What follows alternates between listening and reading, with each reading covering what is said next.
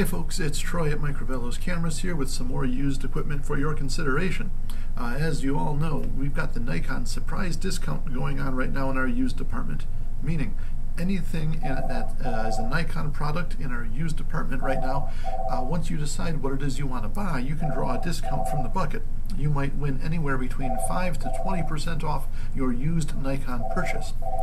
It so happens that we have a lot of used Nikon right now and we need to lighten that inventory and that's why we're giving you this deal. So come on in, check out our used Nikon gear and see what you might want to add uh, to your to your camera bag and knowing that you'll get at least 5%, maybe even up to 20% off that purchase. So come on down. What I wanted to showcase today uh, is three lenses that I recently got to play with this past weekend that I think are very much worth your consideration. Uh, I'm a big fan of prime lenses. I think they tend to be sharper than zoom lenses. Uh, they often are smaller and more lightweight, and I just think they make uh, make my, my, my photography more decisive. You know, I, I, can't be lazy with a prime lens. If I want to change my composition, I gotta move. I can't be um, locked in one position and just zoom at my convenience. Nope, I've got to move my feet, and I think that's pretty cool. The three lenses that I have for you today uh, that I got to play with a little bit this weekend are a Nikon Series E 28mm 2.8 lens, Series E 50mm 1.8 lens, and a Nikkor QC 200mm f4 lens.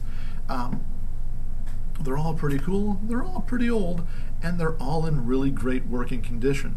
So that 28mm lens is selling for $85. The 50 millimeter lens is selling for 70 and this 200 millimeter lens could be a cool portrait lens could be a cool telephoto lens. Uh, that nice ap aperture of f4 blurs out the background really cool. This thing is selling for just 50 bucks and that's all before you choose the discount from the bucket. So get in here and check out these manual focus lenses.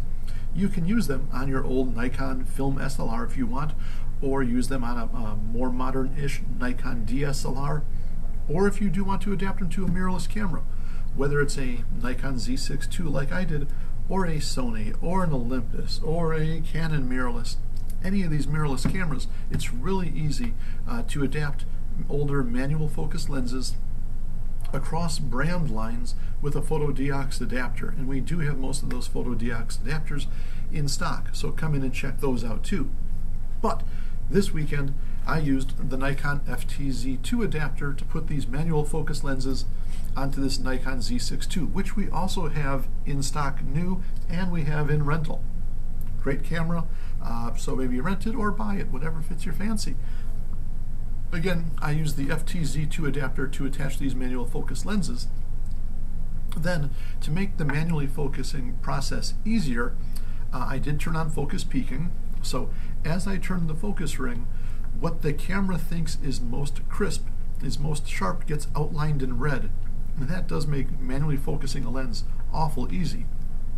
But to even be even more sure about the process, uh, I did take the FN2 button here inside the grip on the right hand side, and I did program that button to magnify the image to 100%. So as I was making photographs, it was just took one tap of that button with my finger right in there. And then the viewfinder zoomed to 100% and I could quite easily see what was going on and make sure that the image was as sharp and focused, uh, as sharp as possible and was as focused as could be where I wanted it to be. So between focus magnification and focus peaking, it is really easy to manually focus these old vintage lenses. So please come in here, check them out. No matter what brand of mirrorless camera you're working with, you can adapt these lenses to it. And that is pretty neat. Uh, I think it will give your photography a different look of sorts. A lot of people are sort of into that whole analog, vintagey, old school sort of look about their photography now, and I think that's what's leading a lot of people to shoot more film. We've been seeing a lot of that. Um, but if you don't want to go that far, if you don't want to shoot film and pay for film and processing and all that, which of course we can do for you and happily do for you, uh, maybe you just want to use a vintage film era lens instead, and we've got plenty of those for your consideration.